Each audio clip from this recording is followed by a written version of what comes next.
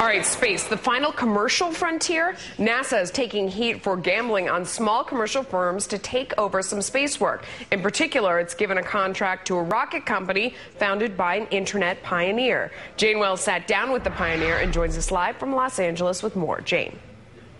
Hi, Melissa. Elon Musk built a rocket company with a Silicon Valley culture. Now his rocket is on a launch pad and the pressure is on. SpaceX is go for launch. This animation represents the new NASA, though the old guard doesn't like it.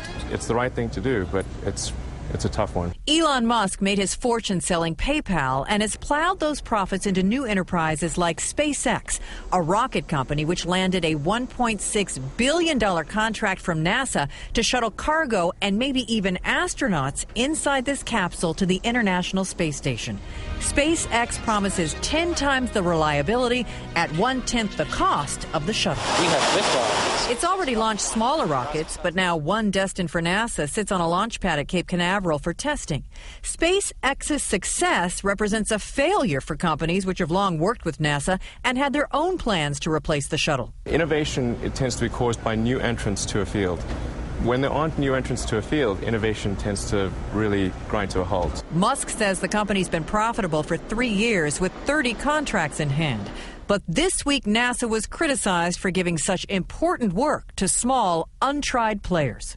Boeing at some point was untried, Lockheed was untried, Airbus was untried at some point. So obviously there has to be some process for, for getting tried. There is tremendous pressure on you.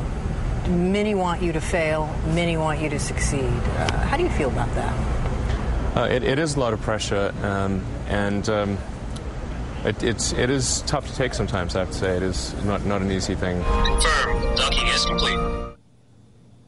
The Falcon 9 rocket should launch in the next couple of months, but it's not all victories. SpaceX just lost a challenge to the GAO for a lunar orbiter contract NASA awarded to a different smaller firm, Orbital Sciences.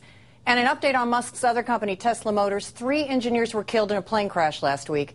Musk tells me Tesla is moving forward. It earlier filed for an IPO and he is dedicating Melissa the Model S program to the memories of those who died. Wow. All right, Jane, let me ask you really quickly about the spacecraft that we saw. I mean, the essential question is it safe?